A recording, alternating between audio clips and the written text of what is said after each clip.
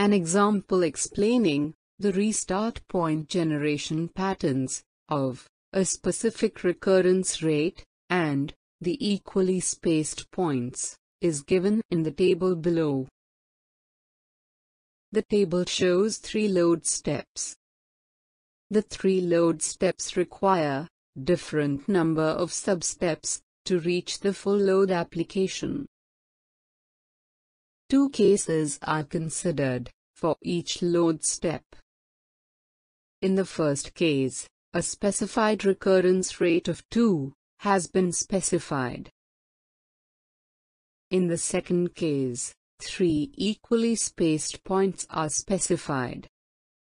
In the first case, the restart points are written after every alternate substep.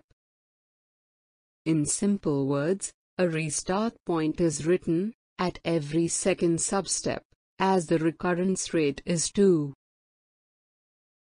For the first load step, a restart point is written at the second and the fourth, that is the last substep. For the second load step, a restart point is written for the second, fourth, and the fifth substep. Note that although substep number 5 does not coincide with the recurrence rate of 2, a restart point is still written. This is because it is the last substep in the load step 2.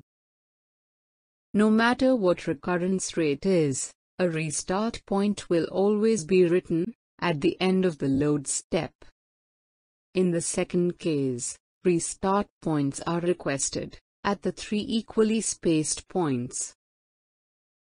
For the first load step, the restart points are written at the substep 2 3, and 4. That is, 50% load, 75% load, and 100% load.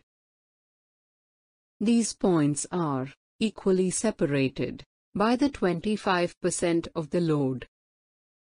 While solving the second load step, a restart point is written at substep 2. This corresponds to 40% of the load. Similarly, a restart point is written at substep 4. This corresponds to 80% of the load.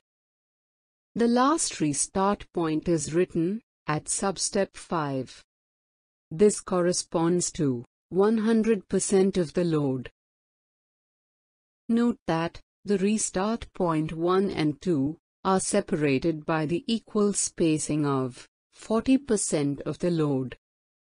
Although spacing between the third restart point and the second restart point is only 20% of the load, restart point is written for the substep 5.